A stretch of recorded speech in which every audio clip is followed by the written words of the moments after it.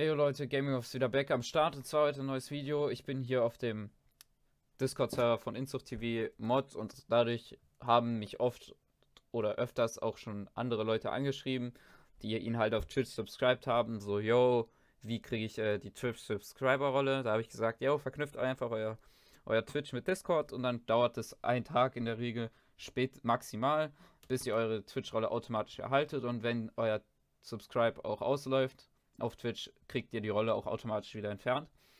Jetzt fragen sich eben, wie gesagt, manche, wie man das verknüpft. Das will ich euch jetzt zeigen. Ihr geht einmal hier unten auf dieses Einstellungssymbol. Beim Handy muss man, glaube ich, von links äh, rüber swipen, wo man die ganzen Channels sieht. Und dann kann man auch irgendwo unten dieses äh, Benutzereinstellungssymbol drücken.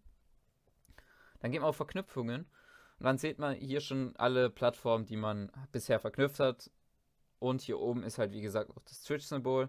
Da klickt ihr einmal drauf und dann meldet ihr euch an. Ich bin automatisch eingeloggt, weil ich mein Twitch halt automatisch einloggen eingestellt habe auf meinem PC. Also ihr loggt euch einfach ein und dann kommt hier, Twitch-Account wurde mit Discord verbunden. Und dann geht ihr hier auf Twitch, äh, auf Discord und dann seht ihr auch direkt schon hier unten, dass ihr euer Twitch verknüpft habt. Und dann wartet ihr in der Regel ein bisschen. Das ist auf jeden Fall nicht direkt. Und zwar seht ihr das, ich bin hier Mod, deshalb kann ich es mal kurz zeigen. Und zwar wird hier das äh, jeden Tag spätestens einmal am Tag mindestens synchronisiert. Oder wenn man halt einen Mod schnell fragt, kann er sagen, so, yo, Synchronisation erzwingen. Und dann kann man die Rolle theoretisch auch äh, direkt bekommen.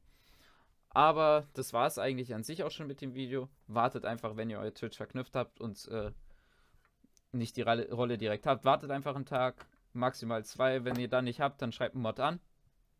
Oder überprüft, ob ihr auch den wirklich richtigen ähm, Twitch-Account verknüpft habt. Kuss geht raus. Ciao.